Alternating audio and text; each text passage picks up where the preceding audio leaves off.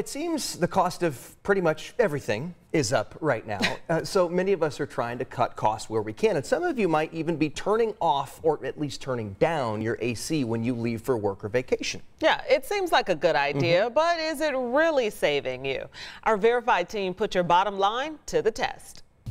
To run or not to run? Search online for cost savings for cutting off your AC when you leave the house, and you'll find different answers. Some AC companies say, yeah, it'll lower cooling expenses. Others say it just makes your unit work harder to catch up when you return. So, our question can turning off your air conditioning when you're not at home save you money? Our sources Logan Kreska, lead communications manager with Duke Energy, and the Department of Energy. Now, the short answer is yes. Switching things off for a bit can save you money. But before you start taking your unit on a roller coaster ride, the longer answer is it just depends on how long you're going to be gone. Say you're going to work for the day, say maybe you're taking an overnight trip, it's more energy efficient to go ahead and keep your AC on. However, just bump it up a few degrees higher. The Energy Department says dialing back your thermostat 7 to 10 degrees for 8 hours a day can save you up to 10% a year. Once you get to kind of that 3-day mark, if you're going to be gone more than just a couple of days, nobody's going to be staying at home,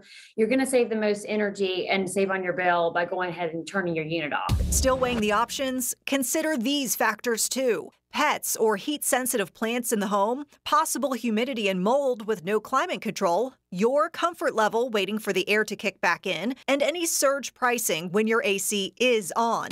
So we can verify yes, turning off your air conditioning when you're not at home can save you money, but you might find it's more efficient to just adjust the thermostat or get a programmable one to do it for you. The further away your thermostat is from the temperature outside, the higher your energy bill is going to be.